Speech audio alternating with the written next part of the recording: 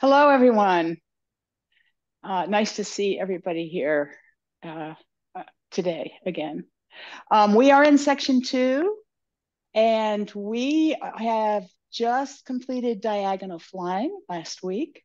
And this week, we're going to go over, so we're going to review diagonal flying because it's a big move in more ways than one, and look at some skills. And we're also going to look at some variations of movements. We'll see how far we get that are repeated in section two that we have done in section one. So that's the agenda for today. So looking forward to that with you. I thought we would see what we could do uh, going through what we know again to date. This may be the last time we do all that section one, so enjoy it. and I thought I would remind you of where your gaze is going to be. So uh, let's do that again. Starting our warm up with section one in prepare, really centered. Feel the weight on every part of your foot. Feel the top of your head stretching up very gently, just sort of gently lifting up and your shoulders and your body just sort of hanging from this very long neck.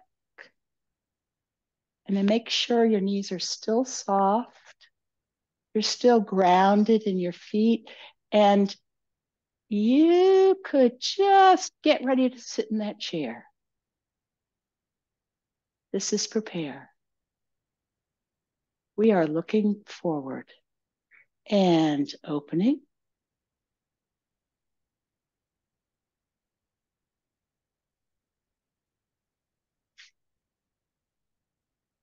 Left ward off, our gaze is going to follow these body movements. And now it's going to go back to 12 o'clock. And then travel with our body turn over to three. And over to 4.30, if we're following the left hand now, as we do right ward off. Roll back, follow that right arm with your gaze. As it swings left, you're following it. And now back to center at three o'clock. Push, just stay at three o'clock.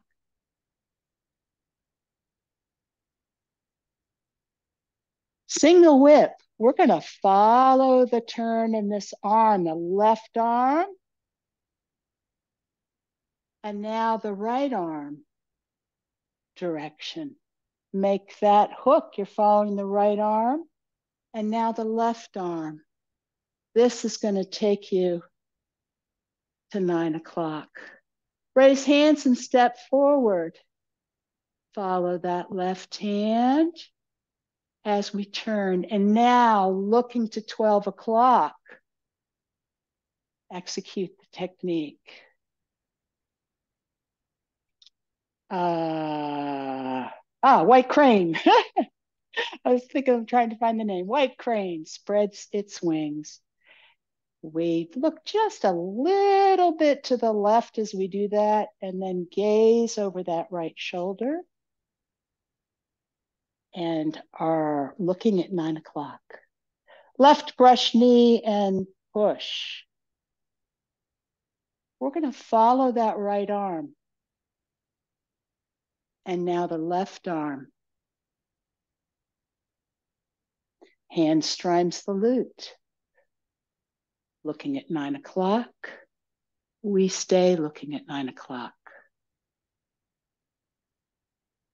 Left brush knee, remember, follow that right arm, looking at that back corner, and now looking at nine o'clock. And the next brush knee, same kind of deal. We're going to follow that left hand and the body turning, and then the right.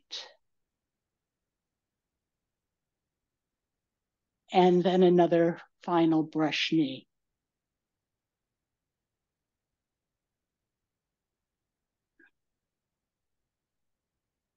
Hand strums the lute. Gaze doesn't change.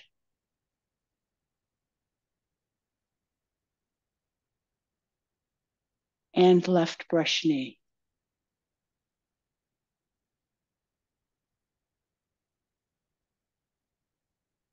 Step up, parry block and punch. Gaze is gonna follow that left arm and then work its way back to nine o'clock.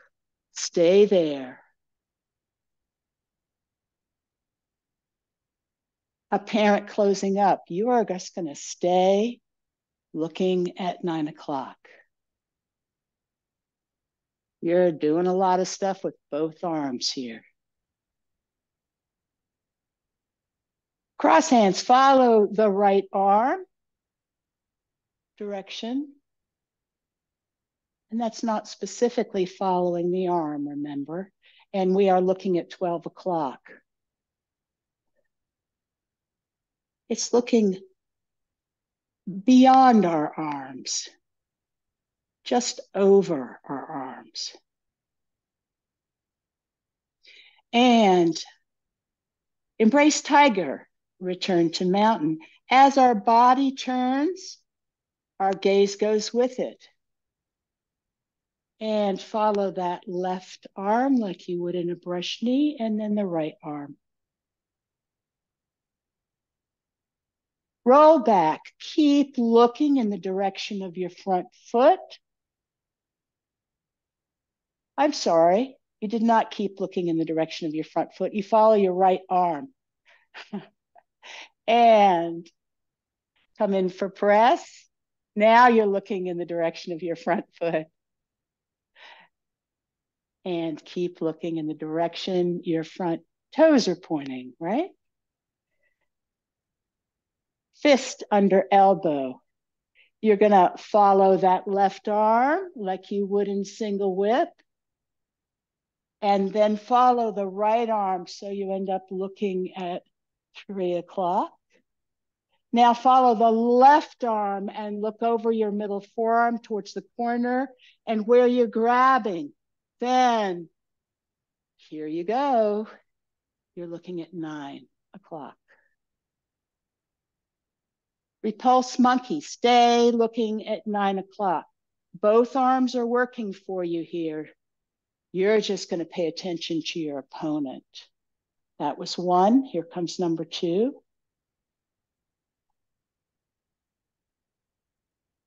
And number three.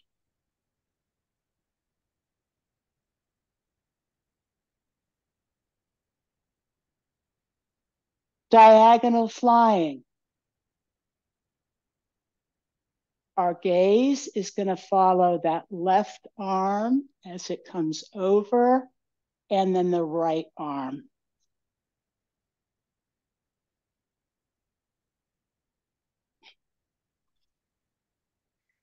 All right.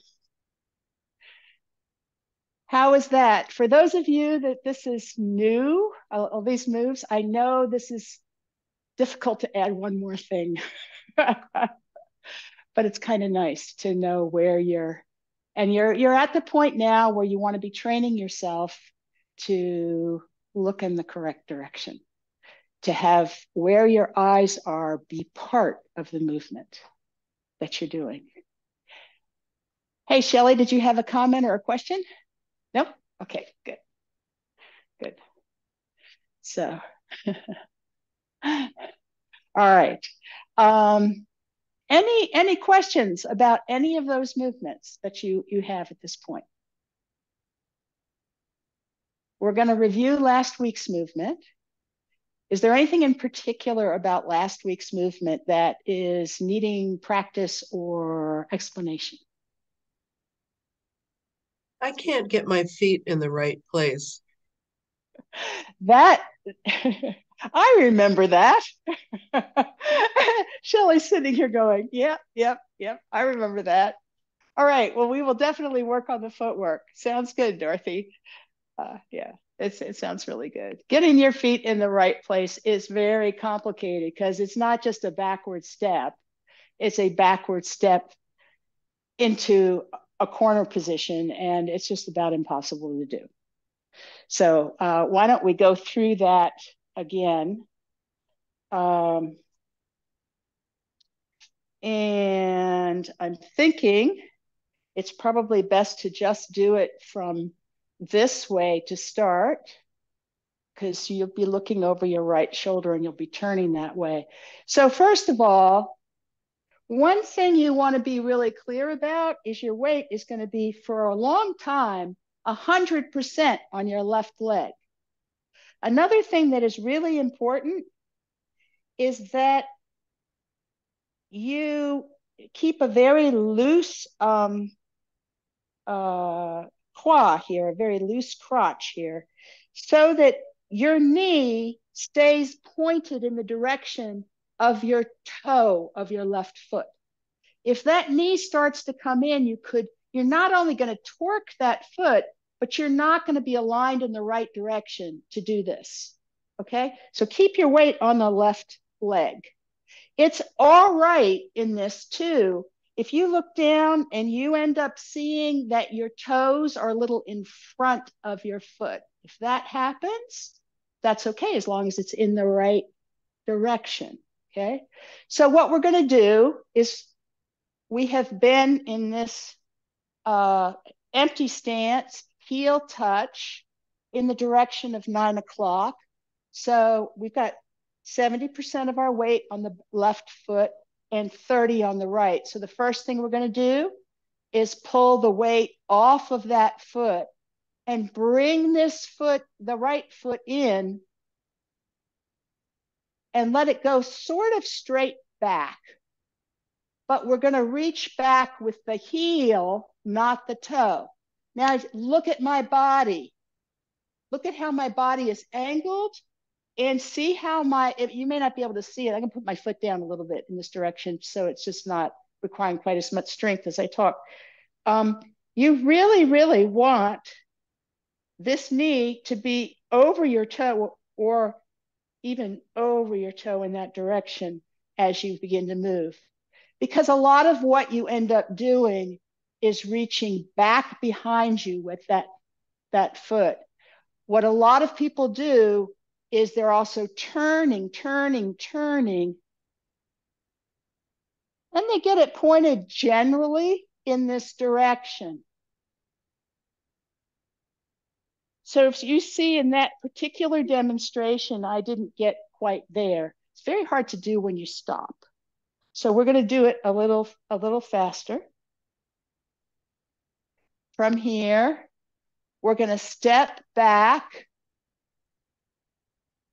with our heel. When we do, keep this knee here. You could even reach down and touch it if you want. And then come over, swing over you're actually not going to swing. Now, turning your upper body is going to make this a lot easier and not stopping. So what you want to do is push with that heel, stand on that left leg, come back, reach with your heel, turn, turn, turn, turn, turn your upper body. When you do that, it's easier to get this foot aligned to the um, diagonal direction. You notice that you also pivot on this left foot. So what is the left foot doing? It's taking all the weight. You're keeping very open on that left side, keeping that knee there, keeping your weight there, but then turning. It's very hard to stop here. See how my chest is in this is in this direction now. Okay, so by the time your foot comes behind you, your heel really touches the ground behind you, your weight is still forward, but you have started, you're turning already. And then as you transfer your weight, you can pivot on your left heel so that you end up in a bow step to the corner. So your right foot should be towards 130 if this is 12 o'clock. This is 3 o'clock, 130. if this is south, and this is this is what uh, west, this is southwest, right? It's that kind of thing, 45 degrees. Our new position of the front foot is here. Our back foot is going towards 12 o'clock. If I pivot it to make it on railroad tracks in this direction and step up, ideally, I'm shoulder width apart. As we discussed last week, it is okay if you can't make it. If you end up, you know, just just a little bit this way, that's all right. Just make yourself sort of a, a, a bow step. Don't if you're if you're not quite to the degree here, then you're not going to quite get to to um to, to straight with your other foot. Um, Dorothy, is that helping? Yes, that was helpful. Thank you. Okay. Do you need to see it from another direction? Um, I don't. I, I'll just need to practice it, but um, right. Okay. It's, it's good. Thank you. Okay. Berlin, do you have a, a thought or are you just coming close to look? No, I, I do have a thought because I ran back and forth through this motion a lot of times this week. And what I, and my bow step was constantly too narrow on the tracks. And so then I finally figured out what you just said is that you're you're not stepping into a plie like where your hips are aligned, you're stepping back. So I ended up just reverse engineering it. I, I got in my bow step that I wanted to end at, and I thought, okay, this is where I want to end. So then I turned my foot this way and I thought, okay, that's where my foot needs to go when I step back. And I yes. figure out where does the foot go to get the bow step at the end by doing it back. And that's a very good tip for people. And many people find, depending on how tall you are, it, it will it will work a little different. But most people have to not think of stepping to the corner. They need to think of coming to center and then reaching back behind them and where they end up reaching like for me you can actually probably see here i'm just barely touching this line with this foot and my other foot you know is is just a little to the right of of that line. So you know it's two or three inches sort of in the 12 o'clock direction is is where he ends up. And of course if i do it dynamically if if you know if if I do it if I do it dynamically, then it it always gives a better one, and they're actually it's almost back for me. It's almost straight back, but so and the longer you can step back, and that comes with time. The longer you can step back, you kind of have to make a long step back in order to make a reasonable bow step. Uh, if you make a short one, which of course makes it easier for you, uh, it makes it harder to come in where you want to be. So that's another tip. Uh, Shelly, any any thoughts? So here's the deal. I actually was born with, and so my dorsiflexion and lateral is I, I can rarely do it correctly without taking an extra step. Got it. Got it. So that's all that's all right too to take an extra step.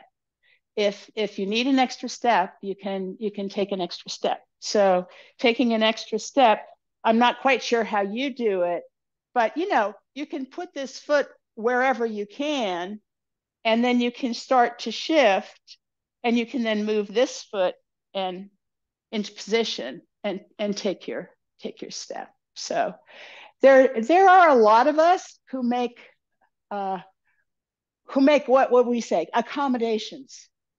I made an accommodation for years, years and years and years and years, even when I went up for ranking. And I just said, I, you know, I have to make an accommodation. It was on single whip. There's like nine of them in the form. And, I, and I I couldn't. I, I yeah. Go ahead. I was going to say two things. One is I really like to. I, I it's more comfortable to feel balanced through the whole process than try to get it exactly right. Yes. And I also do accommodation because of that whole dorsiflexion thing on single leg a little bit. But the way I do it, I don't think oftentimes people don't notice what I'm doing. I cheat. Yeah, I I I would pivot on both balls of my yeah. feet at the same time. Yeah, and that's what actually Master Yang re re recommends. Once I fixed my knees, I was able to do it again.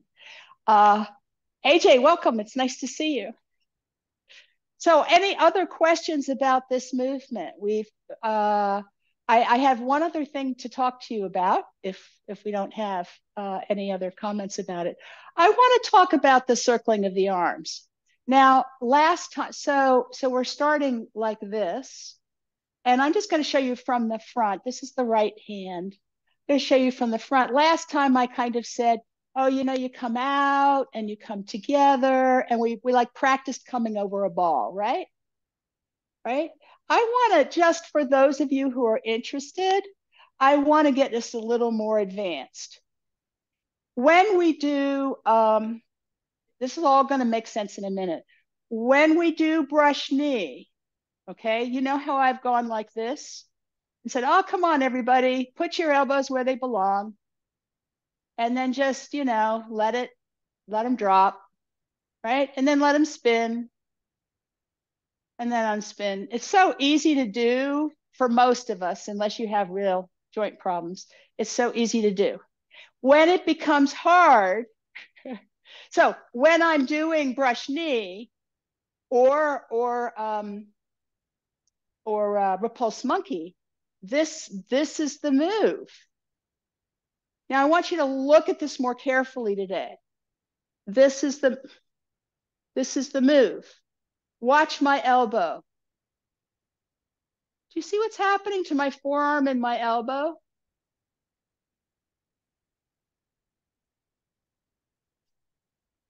It's, you know, you can kind of cheat and do it other ways, right? You can kind of move your arm and then flex and it'll look very similar. But what you really want to do is keep this do you see what my elbow is doing? Look at that. And that is what your elbow does when we just do this thing, right? And we go, we don't think about it. That it, now, now do it around, around your elbow joint. See? Around your elbow joint. You see, if I slow it down, you see what's happening?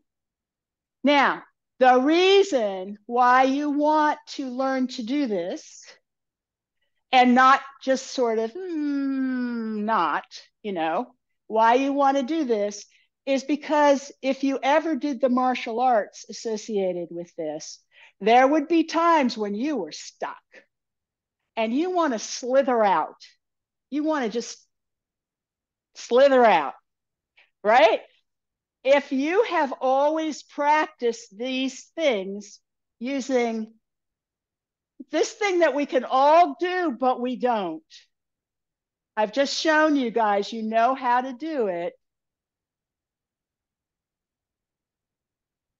Right? You can do it.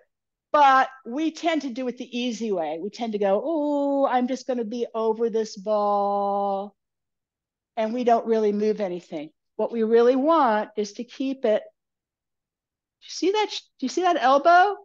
Like go into a mirror and and and and and and watch what happens when you do that dropping thing. And what you want is is that move.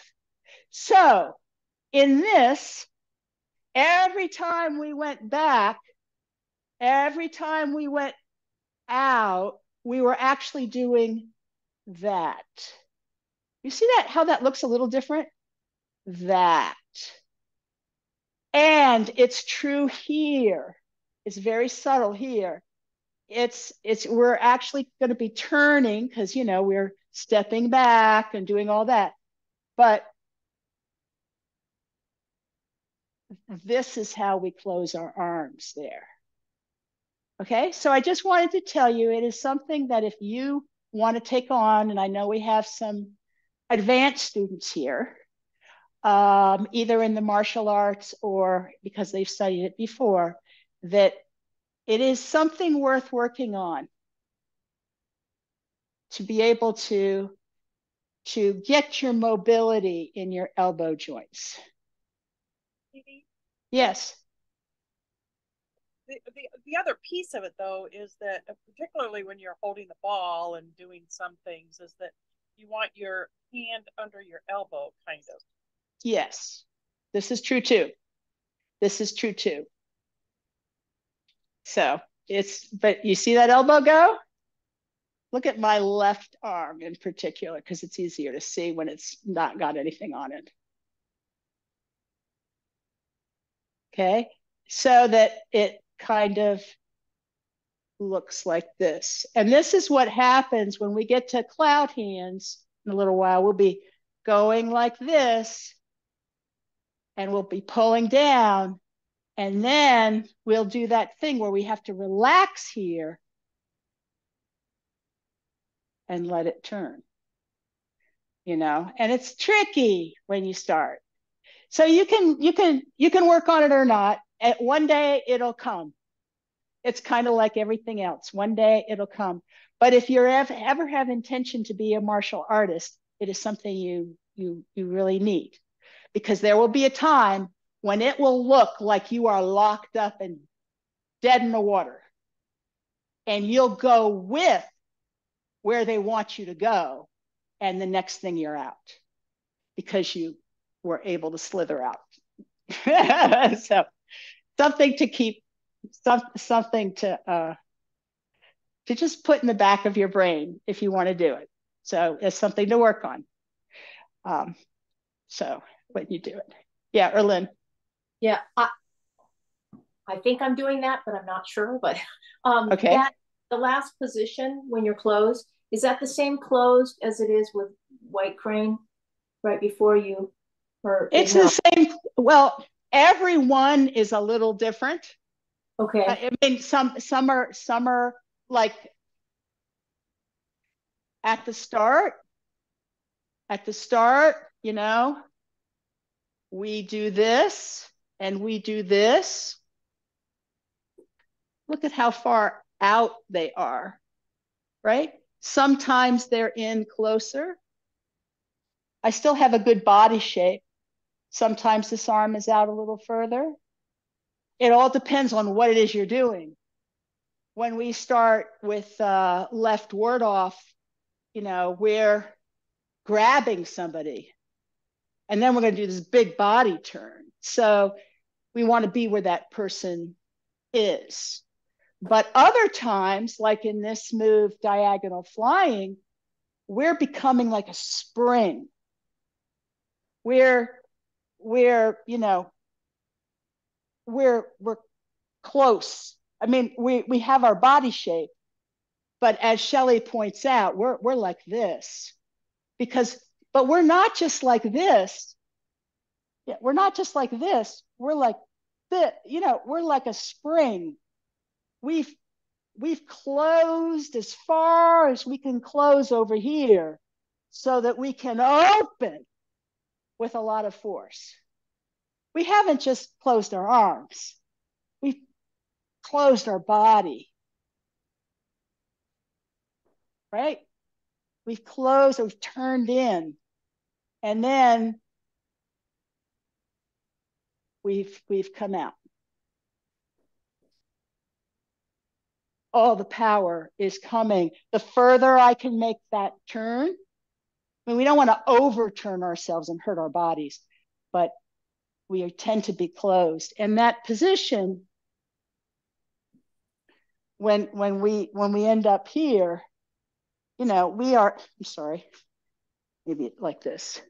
When when we end up here, we because we're actually here, we're able to be this turned because our foot is here. It, it makes it easier to be this turned. And then as we do it, it's a huge, powerful turn. So, Okay, thanks. That that helps. Yeah, it's it has to do with the way the energy is going too. So Yep. Yep. Yep. Okay. Absolutely. So so it's there. Uh, let's just do a little more practice of this so that we can now put this in. I'm going to do it from this direction. So we've just finished our last repulse monkey. You have good body shape here. Good body shape. Remember, you're going to try to rotate this arm up, this, this elbow, that left hand elbow. And we're going to just, just do whatever you can do. We're going to shift our weight onto that back foot. Our arms are circling. We're turning. We're reaching back and throw that frisbee. Nice, nice. One more time.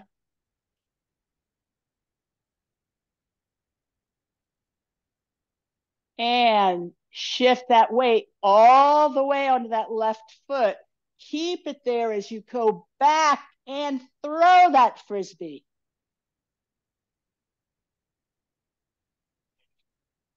The power comes from the turn and the shift of weight. Feel those as where your power comes from. And the only reason, the only, and the release of your spring. There is no separate movement with your arms. I mean, they're, it's, it's all with your, with your, your, your torso opening, your upper body opening. Here we go again. And you're becoming like a spring. You're a spring. The spring releases.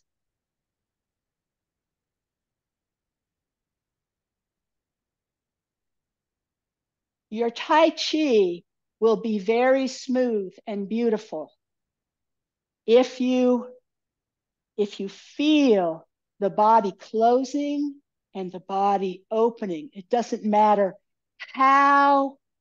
So, so you're, you're kind of tempted to do this, to fling the frisbee, right? No, no, no, no, no. I mean, that's what we say, right? Originally. But a person who's really good at flinging the frisbee will fling it with their whole body turn. Their whole body turn. So keep that keep that in mind as you do it. All right. Would you like to go on? Okay. All right. So the next movement is a repeat movement, and it is uh, raise hands and step forward. So before I show it, let us just review a little bit about raise hands and uh, step forward. So in um, after we've done single whip, just follow me. And remember this, remember raise hands. So this hand is at your, your hook is hitting into somebody's neck, about your neck height. It's a little higher than, than your left hand, which is more like your shoulder height. And we shift our weight towards the right and get it on the heel of our left foot. So we can pivot to the diagonal. Then we shift all of our weight and we release the hook. And then we bring our foot in, put our heel down, and 30%. One line, two sides. What are the arms doing? Uh, let's see. We shift to the right, we turn to the right, we release the hook as we shift left, and our arms start to circle back. They follow, they follow the energy, which is back into the side, and so does your foot. It then puts your heel down when you're almost in this push position, and then you execute. Everybody remember how that worked? We were swimming, right? We were swimming, swimming. Somebody, you pull back and you go forward, pull back and go forward, pull back and go forward. or said, raise hands, raise your hands. You know, it's like, like somebody's holding you up in an old cowboy western in the US, right? Okay. So what's, um, if we did it, if we did it this way, if we did it this way, right? Then here's that swimming beginning. And then we turn our upper body to the left just at the moment we start to put the 30%. And when we do, that helps to throw that right arm forward. Nice, nicer, Lynn. So we're, we've been swimming, we've been swimming, but then we turn to the left and it goes forward. And how does how do our hands end up? The palm of our left hand, not the fingertips. The palm of our left hand is facing the middle forearm. What are we doing? We're gra- we're getting bringing somebody's arm in with your left hand and contacting that elbow, probably right here. It's a split energy, right? and that could be the uh, the end, uh, the uh, the outcome, right, of, of, of that. So it's a very forceful move. So how is that implemented? Everybody remembers that, right? How is that implemented here? Well, we're in a very different position. So here we are. I'll turn around in a minute, but I just want you to see it from where we actually were. We're actually going to move forward twice in this move and once back.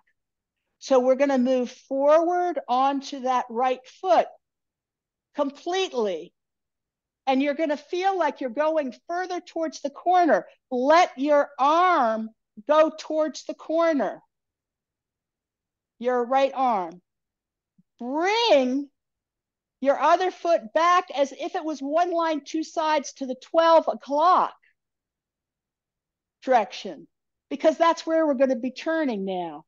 So what's going to happen? You're going to go back on to that left foot. As you do, your arm, your elbows stay down, and your arms do that circle hands up thing and see my right foot? There is my toe, right? I mean, I've, I've come back off that foot, off the ball. I'm almost off it now. And my foot comes in and to neutral and out very quickly. And then as soon as it roots, I turn to the left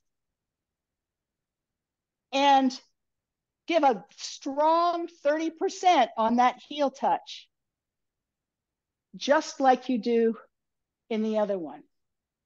So let's uh, let's try it from this direction.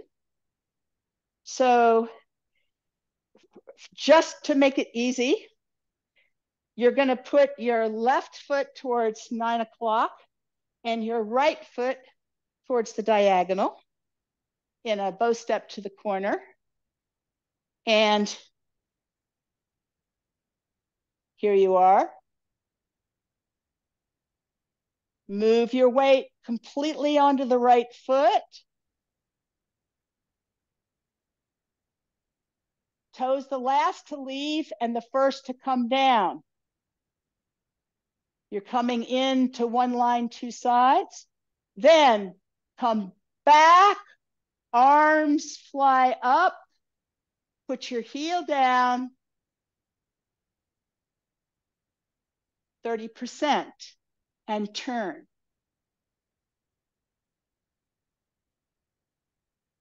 I'm going to show you from here so you can see it from the front. Shifting the weight forward, stepping back,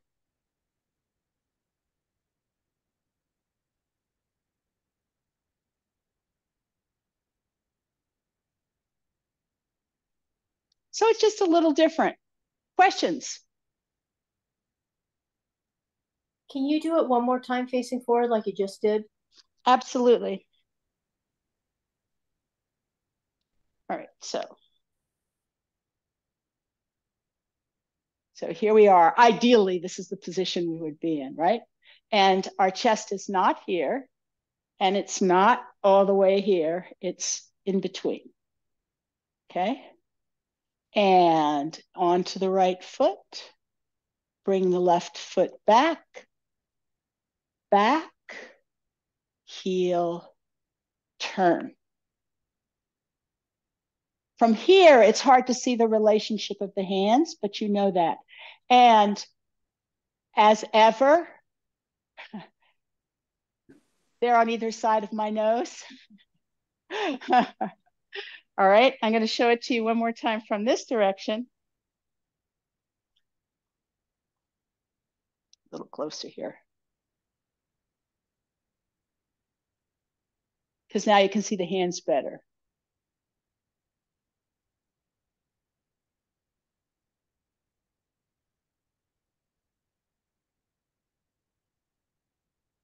Got it? Okay. Thank you. Yep. All right. Well, let's let's practice it from the correct direction. Uh, I have one question. Oh yes, AJ. Yeah, we are down left hand Hitting with this part or this part? This part. This part. You could, obviously you could, and I'm I'm sending links to other videos. I don't know whether you can get them there, but um, but uh, Master Yang makes a good point. I think you would be very interested in. Oh, could you mute yourself for a moment because I hear background noise he makes an interesting point. First of all, he says it's here. He says you need two points. So, so if if you're here, that's one, two, right? Right. But if your opponent grabs you on the shoulder, you've got two points because your opponent is already connected. So the reason, so there is a little sitting of this hand, which you're picking up, but I am not hitting here. I'm hitting here, here. Now, if you can't, you can't, because if you're an actual doing something, you might not be able to. But it's a, it's an interesting video because he makes that he makes that point. He says he says if they if they if you if they grab you here, you know, maybe you can do less. It's smaller, or you know, if but if they grab you here or here, and and they're connected to you, you have an opportunity. You don't need your other hand. I thought I found that really interesting. So I thought you would too. Good question. Um, all right, let's uh, let's do it again. From here, I think you'll be able to see more and onto that right foot. Bring the left foot back. And all your weight back, hands fly up, heel touch, turn 30%. Now, what can go wrong? Look down and make sure your knee is in the direction of your toes. Has it wandered in towards your other leg? You don't want it wandering in. That's dangerous for you. Okay? You still want your tail, your, you still want your spine, the bottom of your spine, to be on this center line. So don't let the bottom of your spine drift and stick your butt out or anything. You want to have, you want to have your, you know, that relaxation in the back, in your back, so that you can keep everything centered. You will know you've got it right when you can't, like I was just showing you, I had to stop because if you stay in that position, for a while, it's it's it is really if you're in the right position, you will know it if you hold it for 30 seconds because it will start telling you you're you're really working here. it feels like you've done, you know, 50 or 100 knee bends or something. So, so just keep that in mind. Any questions on this? All right, we're going to practice the two moves together. I think that will be helpful. And we're going to do it from here. All right, so it's the end of, oh, it's our third repulse monkey. Diagonal flying.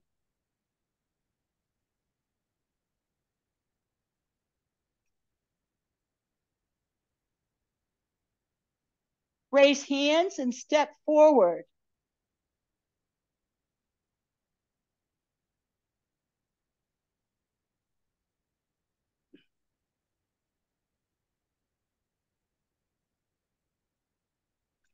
And again, diagonal flying. Circling our arms, coming to neutral, stepping back, turning, and opening. Raise hands and step forward. Shift weight. That hand seems to be going further to the corner. Bring that left foot in and back. Moving our weight back. Heel touch. 30%. One more time.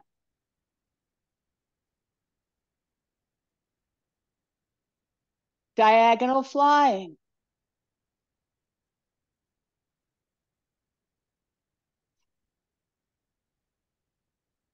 Raise hands and step forward.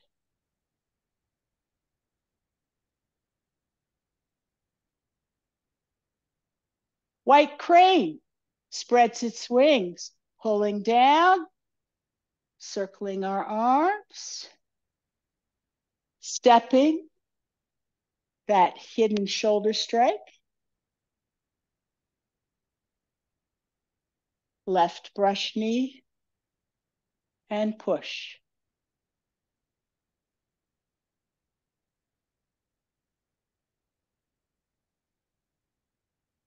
Let's do the same thing again, focusing on gaze. Oh, questions, actually. All right. Not, not hearing any. You have them, shout out.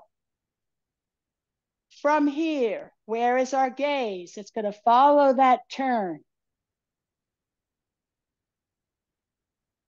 Diagonal flying. Follow the left hand and the right. Follow the right hand, and back to 12 o'clock.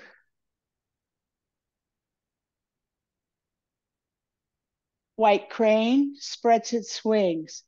Gaze just goes a little bit to the left and then over your shoulder, quick kind of glance back, and then it moves to nine o'clock. Left brush knee following the right hand. And then the left.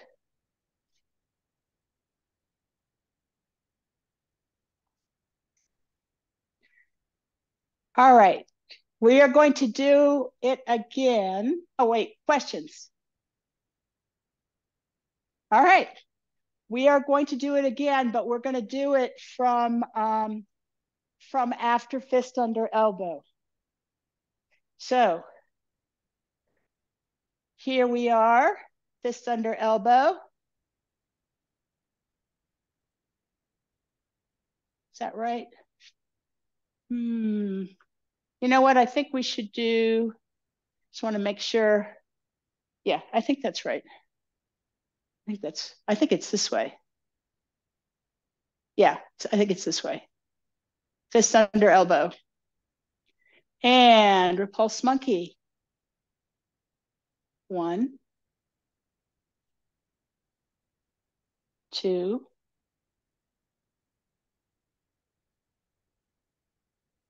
three. Remember, this is all about the pull, not about the strike. The pull is powered by your movement.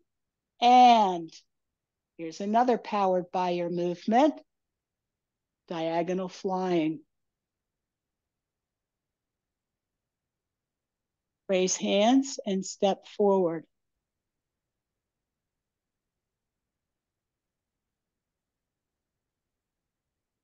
White crane spreads its wings.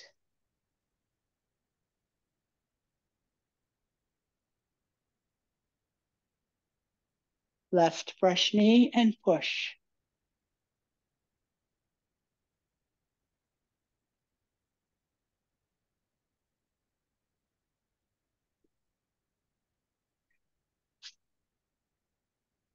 Looking good. Shall we do it from the start of section two? All right.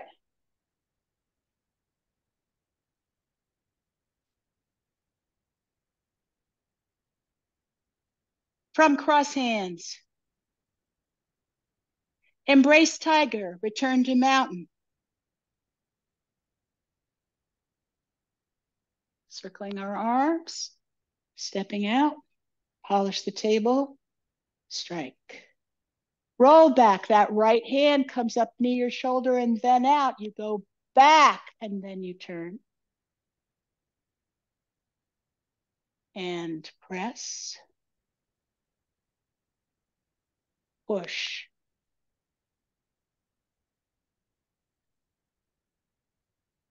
Fist under elbow.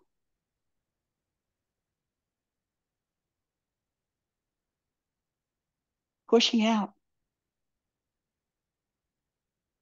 Warding off to the corner. Grabbing, stepping.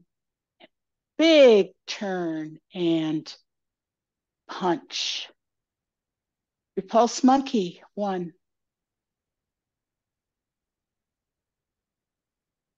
Pull, two. Pull, three. That pull is entirely a matter of holding on while your body comes back and turns. Diagonal flying turn, turn, turn, turn, and throw that frisbee. Shift your weight, step back, all your weight back, hands fly up, heel touch, turn your upper body. White crane spreads its wings, pulling down all your weight as you circle your arms and step glance over your shoulder. Left brush knee and push.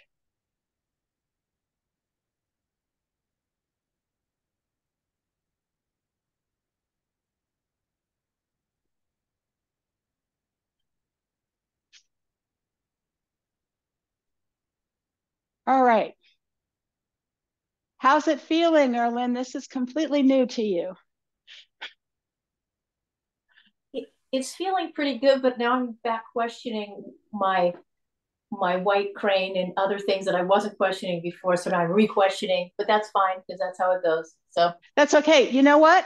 We always have time at the beginning of every class in order to to review.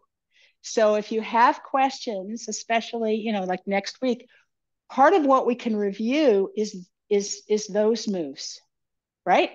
uh, because we did a lot this this time. But you know, we can do, review anything we did this time, and really anything we've done, because when you did first section, this is how I feel about it. When you did first section, there was no way I could tell you everything because you didn't know how to do a hand shape. you didn't know what body shape was. You had no idea about torso turning and connecting it. There's just so much you've learned. It's phenomenal. And now, when we're in second section, there's an opportunity, especially with those early moves in first section, to tell you there's a little more meat in them. like that swing, that's a slither thing. that's a that's a you know i mean you could do it you could do it here you could do it here you could do it there you could do it you know i mean it's like yeah it's it's but but we're you only do it where you need to right so so what you see some people do in their style of tai chi is they'll do this and then they'll do some extra little flourish or something i guess it's because there's a possibility we we don't do that we you're just going to see it does sit. The hand sits, but it's a natural thing. So uh, in our style, different, different styles, different things. All right. Any, any final thoughts? All right. I think we're done. Good work today. A really interesting work on your empty steps because it's another empty step next week and it's it's complicated. Why wouldn't it be, right? All right.